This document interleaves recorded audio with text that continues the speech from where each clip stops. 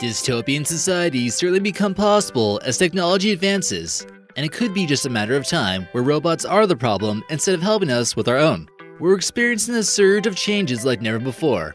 Unforeseen artificial intelligence could be the end of some jobs as we know it. People you think you know could ultimately end up being some android putting on a show. From robots designed to look and behave just like us, to living inside a smart home, here are ways robots could take over the world. Hey everyone, how's it going? Are you guys ready for another action-packed American Eye video? Let's check it out. But first, make sure you guys like, comment, and subscribe, and hit that notification button for more notifications. AI drivers. How would you feel someday in the future if your Uber driver looked like this? Some believe that Uber intends to replace all their drivers with self-driving cars sometime soon to maximize profits. They don't need coffee breaks or to go to sleep, meaning increased productivity. Google has already developed a new self-driving car that was demonstrated at the Google campus in Mountain View, California. They've already tested dozens of prototypes, and the people at Google believe it will be ready for the public in only a few years. Imagine driving down the street and seeing cars with no drivers in them.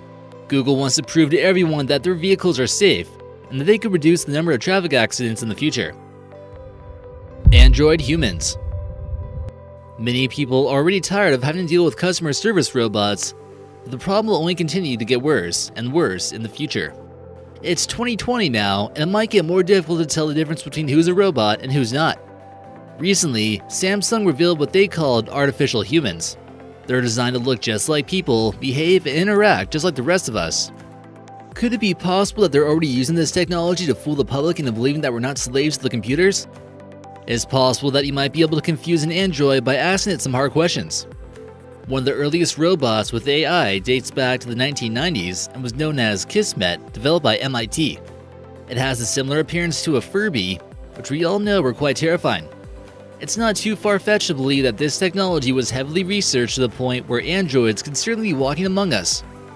According to one of the companies, some of the new robots could be designed to be TV anchors, spokespeople, movie actors, or even friends. Pet robots. You know you got some problems when even your artificially programmed robot dog doesn't love you. With the way computer systems are able to recreate the way the human brain works, it should be able to meet the intelligence of a dog fairly easily, right? Everyone meet the AI puppy named Aibo. You don't have to feed it real food, it doesn't make a mess, and as long as you charge the battery, it should love you back. Whatever you do though, just don't give it a bath. But it might not be as dumb as you think either. The robot dog can move over 22 total joints in its body, is aware of colors, height, and depth perception. It's probably smarter than your average kindergartner. It really has dog-like movements to the point where you might forget that it's actually not a dog.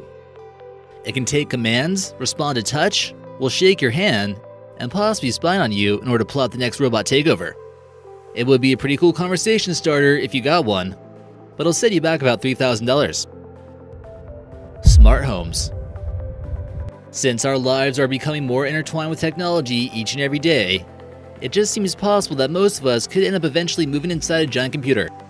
It might get a little bit creepy though when your house can read your mind and follow what you're doing. For example, a system will set up that will recognize who's home or not and will turn off the lights if they don't see anyone around. It might be set to close the blinds in the morning or turn on the air conditioning based on your body heat. Sometimes it just gets a little bit creepy when your home can sense that you're home. People might be tempted to get something like Google Nest, which is supposed to be used for security purposes. But in 2019, Google said that it was investigating some issues of people using it to spy on each other. That was only if you got one that was used, but you still have to wonder will Google use it the way they're supposed to?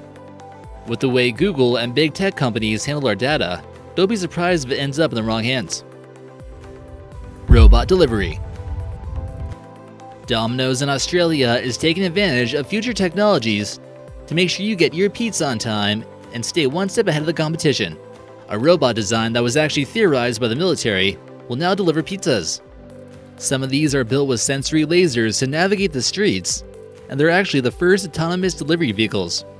Inside, there are temperature controlled heating boxes to make sure that you don't end up with a cold pizza. This might seem a little bit crazy, but it's been actually proven to be effective. Although it certainly seems like it has potential to take away jobs from your hardworking delivery boy, the CEO says that it simply won't be possible to keep up with the demand. The Gunbot The United States Marines certainly thinks that robots could be a future solution to taking people off the battlefield. The MAARS acronym is short for Modular Advanced Arm Robotic System and seems like something you really don't want to mess with. Imagine waking up and there are robots with machine guns patrolling the streets. This robot is the US military's latest unmanned ground vehicle that's capable of firing an M240B machine gun, as well as four fully operational grenade launchers. Some models might even have a minigun, this might be able to keep some people away from the front lines. It's built for reconnaissance, surveillance, and target acquisition missions, as well as built with state-of-the-art technology. Capable of firing 400 rounds of ammunition, it also has night vision, 360-degree visual capacity, thermal vision, and to top it off, it's even got lasers. This thing still needs humans to operate it though. Hopefully no one will program it to kill on its own. More robotic animals. Here in this video clip, we see the Leg Squad support system which was introduced by DARPA.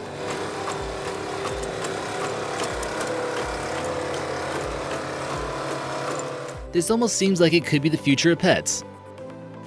Anyway, it's semi-autonomous, has four legs, and can function as a scout in the battlefield.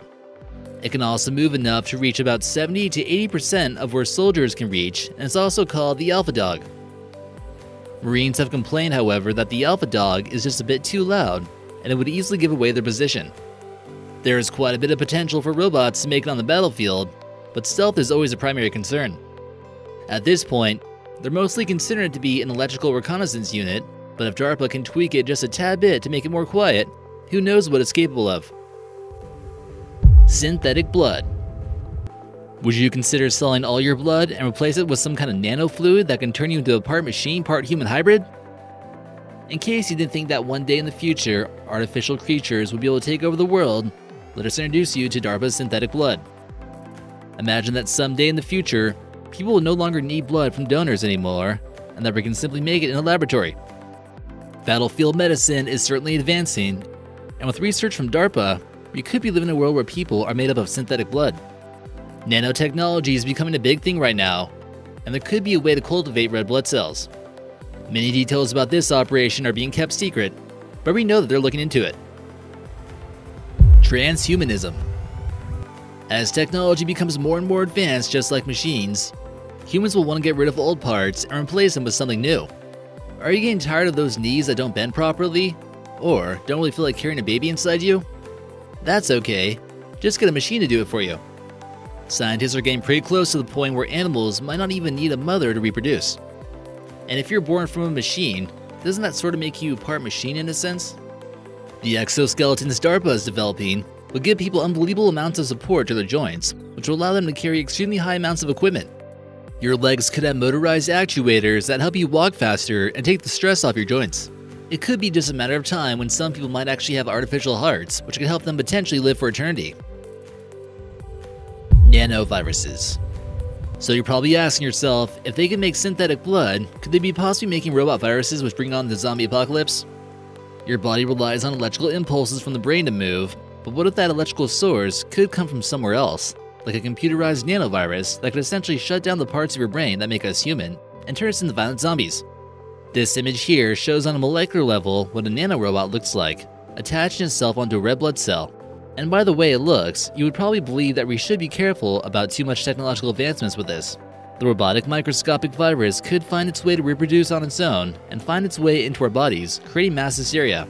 Many doctors believe that nanorobots could be beneficial to curing diseases and fighting illnesses. But what if, in the process of designing them, they create something horrific? Something that spreads like wildfire, creating a full scale zombie apocalypse. Robot Language what happens if robots start to speak a different language than English, and we can't figure out what they're going to start plotting next? What if they start making us speak their language to communicate, and Alexa won't respond unless you speak to it in a way that she can understand?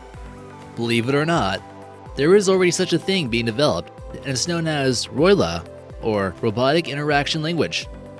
They began to realize that conventional languages that humans speak were a little bit too complicated or confusing for robots to fully understand. Only certain sounds could be picked up by the electrical microphones, and the language was simplified in order to avoid some complex nuances.